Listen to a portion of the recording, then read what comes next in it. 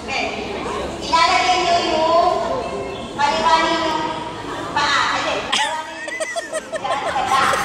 And then, tapos, part na ano mauuna, lahat ng mga yung shoes nyo nandito, lahat yung ano, hanapin nyo, tapos isuot nyo, tapos mag-line kayo. First five. First.